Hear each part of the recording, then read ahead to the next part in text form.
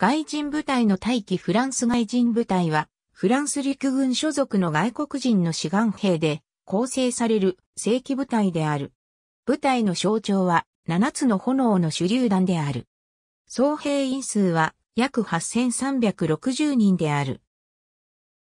FA マス小銃で着剣捧げつつの敬礼を行う外人部隊兵。同部隊の創設以来、180年以上に及ぶ歴史の中で、延べ60万人以上が軍務に就いた。1831年に創設されて、以来現代まで一貫して存続している。フランス外国人部隊とも呼ばれる。フランスに限らず、ヨーロッパにおいては戦争の際にスイス人など外国人の傭兵が活躍することが多かったが、近代になると、ほとんどの国で、軍隊は、徴兵制度による国民軍の形態を取るようになった。これは、フランス革命戦争及びナポレオン戦争で、フランスの国民軍が他国の寄せ集め職業軍人集団である、傭兵隊に対し、圧倒的な強さを見せたためである。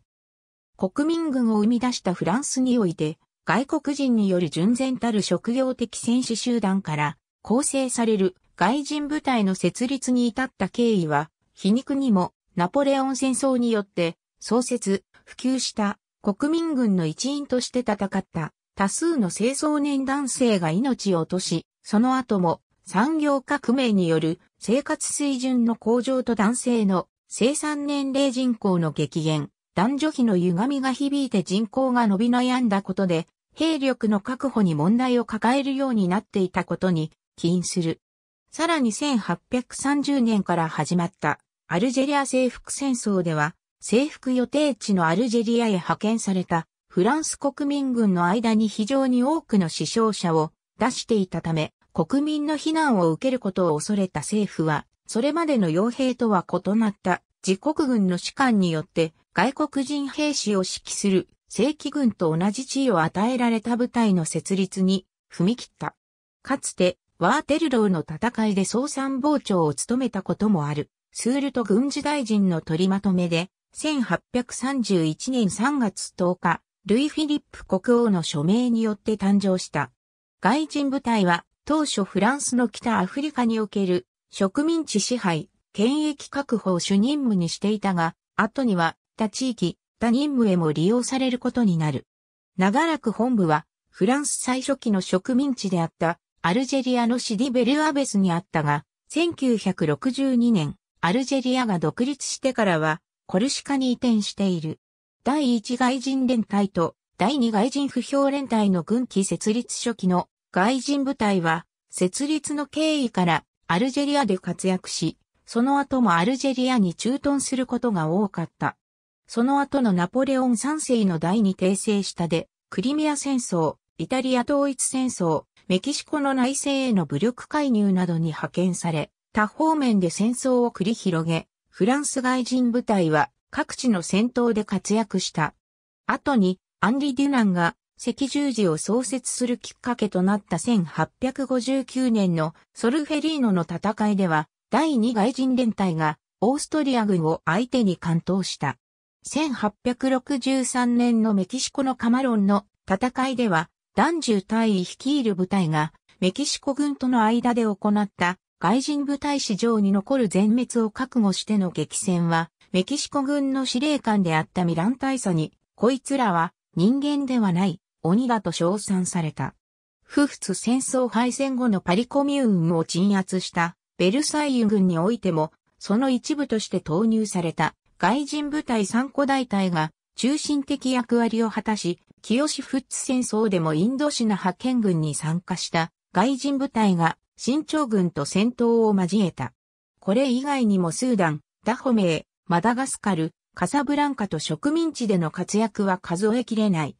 1914年に第一次世界大戦が勃発すると100カ国を超える国の国民が外人部隊に志願し、特に初期にはリソルジメントの英雄、ガリバルディの孫が率いるガリバルディ旅団がドイツ軍相手に奮戦した。記録によれば、1930年から1939年にかけて日本人も60名参加している。当時最も多かったのはイタリア人約6000人、ロシア人約5000人であった。この頃、ゲイリー・クーパー、マレーネ・ディートリッシュ演のアメリカ映画、モロッコが制作され、当時の外人部隊の姿を忠実に伝えていると称賛された。1939年に勃発した第二次世界大戦では、フランスは開戦後間もなくナチスドイツに降伏したため、フランス国内にいた外人部隊の多くはドイツ軍の指揮下に入り、縮小した。インドシナ植民地は日本軍の平和里の仏印進駐を受け入れたが、フランス本国の政変に伴う1945年3月の日本軍のクーデターによって外人部隊も多くの犠牲を出し、中国の雲南省へ逃れた部隊もあった。1946年に勃発したインドシナ戦争では、フランス国内の沿線気分が強く、徴集兵は使い物にならなかったため、外人部隊が徴用され、1953年のディエンビエン風の戦いに投入されたフランス軍17個、不評大隊中、7個大隊が外人部隊であった。第二次世界大戦後、帰郷が困難な元ドイツ軍人や、戦犯逃れのため入隊した元ナチス親衛隊も参加していた。そのため、外人部隊の対価は、ドイツ軍や親衛隊からの影響を受けている。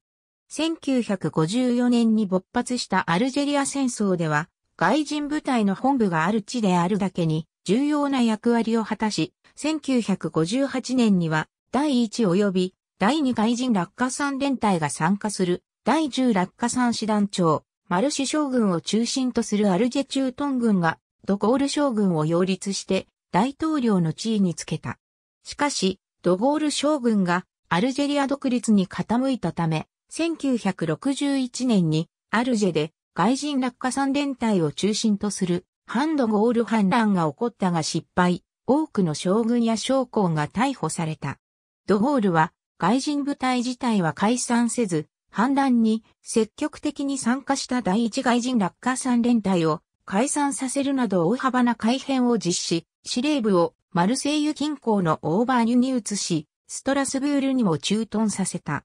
その後も1969年から1971年にかけて勃発したチャドへの介入、1978年から現在まで対テロ戦争中のレバノンでの国連暫定軍を含む地中海周辺の平和維持活動、1978年のコルベジの戦い、1981年から1984年にかけてにレバノン内戦におけるレバノンの部隊と国連多国籍軍での平和維持活動業務などが挙げられる。1991年勃発の湾岸戦争にも派遣されるが、以降2020年まで現地に関わる。1991年以降は、フランス国籍民と民間人の避難誘導を目的に、ルワンダ、ガボン、ザイール、1992年にカンボジアとソマリア、1993年にサラエボ、ボスニア・ヘルセゴビナ、1995年に再び、ルワンダ、1996年に中央アフリカ共和国、1997年にコンゴ・ブラザビルなどに、1999年以来、クファでコソボと北、マケドニアに派遣されている。2001年以降は、対テロ戦争に対して、2001年から2014年にかけて、普及の自由作戦でアフガニスタン、2002年には、コートジボワールの紛争に対しフランス政府は、急走四国として外人部隊を派遣している。2008年には、チャドの UFO チャド RCA で、2013年から2014年にかけて、マリ北部紛争におけるセルバル作戦などに外人部隊を派遣している。白色のケピ帽をかぶり、団体のもとに青い毛布を巻き、FA マスを持ったフランス外人部隊の兵士、フランス外人部隊の象徴の一つである、グリーンベレーフランス外人部隊の構成員は、将校は、基本的に全員フランス国籍を有するもので、フランス軍の陸軍士官学校や、正規軍下士官からの将校任官を経て、外人部隊に配属されたものであり、下士官以下は、基本的に外国人志願者で、第一外人連隊において、募集、採用される。よって、将校は完全にフランス正規軍の採用枠で入隊し、可視官以下とは全く別物であるが、能力と実績があれば、外国人志願者が兵卒から叩き上げて、将校となることも可能であり、外人部隊において、そのような経歴の将校は約10%を占める。外国籍の構成員は、フランスの法律によって、フランス陸軍軍人の地位を与えられており、傭兵の募集、使用、資金供与及び訓練を禁止する条約で禁止されている傭兵ではない。フランス外人部隊では、兵卒を外国人応募者の中から選抜して合格したものを契約という形で採用する。建前として、将校以外にフランス国籍を有する者はいないとされ、内部では公用語としてフランス語のみが使用される。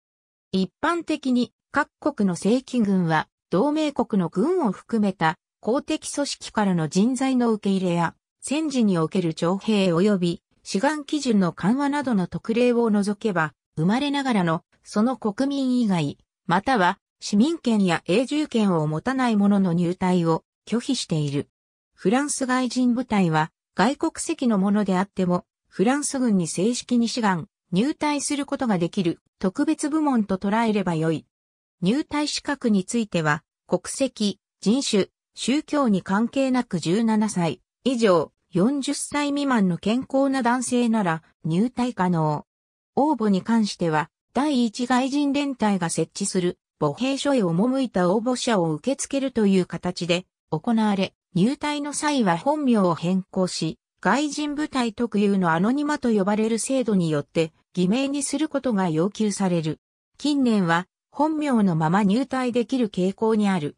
建前では、外人部隊への兵卒の志願者は、外国人に限るとする入隊条件は、フランス国民であってもフランス系外国人と申請することで回避できることがあり、実際に多くのフランス人が志願している。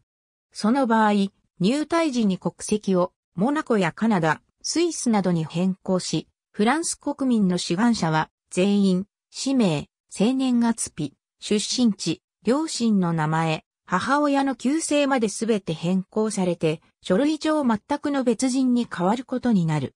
その後全ての正式書類は、偽の名前、生年月日で発行される。偽名制度のため、また任務に準じる覚悟があるならば、国際指名手配されたものでない限り素行等は問わないとして、駆け込み寺的に犯罪者が入隊することもあった。近年では、中等教育修了以上の学歴や、正規の国籍が要求され、経歴の調査も厳しく行われ、特に犯罪で手配中の者や、刑事処罰を受けたことが判明した場合は、入隊できないなど、採用基準は厳しくなっている。このような形で選抜を通過、採用された者は、契約期間を5年間とする初回の契約をフランス政府と交わすことになる。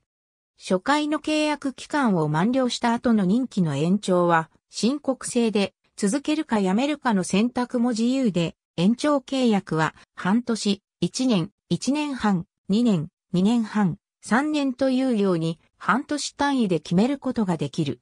例えば初回の契約の満了後に、半年だけ延長し、その後、1年半延長するというようなこともできる。最近では、採用人数が徐々に減少傾向にあり、採用は以前に増して非常に狭き門となっている。外人部隊全体が縮小傾向にある。外人部隊における新兵訓練は約4ヶ月間で、この間にフランス語の習得を含めた戦闘訓練を第4外人連隊において受ける。訓練内容は非常に厳しく、軍隊経験者でも無事に訓練を終えることができるのはごく少数である。部隊配属後も、規律や訓練の厳しさにこらえかねて脱走する新兵が絶えない。かつては契約期間を満了するか、再起不能の負傷による除隊を除いて、中途離脱を認めず、脱走者は八方手を尽くして探索していたが、現在は脱走兵の探索はほとんど行わず、訓練期間中の自発的な除隊も認めている。契約期間中は海外派遣で出国する場合は原則としてフランスの発行するパスポートを所持して行動することになる。アノニマによって登録した偽名を本名に戻す手続きが完了し、海外休暇申請をすれば、休暇の時のみパスポートが戻ってくる。または5年以上の勤務年数であればパスポートは個人管理となる。近年では制度が変わり、本名に戻せば5年未満の隊員でもパスポートは個人管理となる。外人部隊に所属する外国人の軍人は出身国に対する戦闘への参加は拒否できる権利が認められている。現在130カ国以上の国籍の者が部隊で活動している。初期の契約期間を満了し、税金を滞納することなく、フランス国籍取得の申請手続きが通れば、フランス国籍を取得できる。現状は、最低さらに2年から3年の延長契約しなければ、国籍取得は難しい。近年には、戦闘で再起不能の負傷をした者は契約満了を待たずに、フランス国籍が与えられることになっている。15年以上勤務すれば、フランス軍人の軍人年金の受給資格を得ることができる。勤務年数と階級によって受給額が変わり、除隊してから生涯受給できた。近年の行政方針の変更によって年金給付の勤務年数が年々引き上げられている状況で、現在入隊した隊員の場合は最低でも20年以上の勤務が条件となり、さらにこれまで除隊後すぐであった給付が60歳以上になってからの給付に変更になった。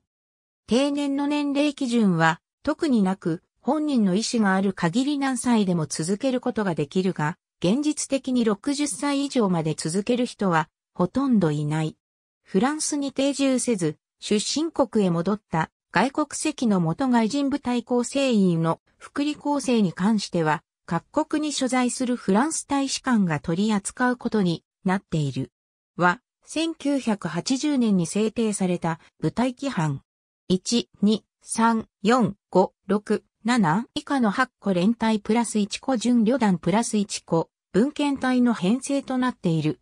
ありがとうございます。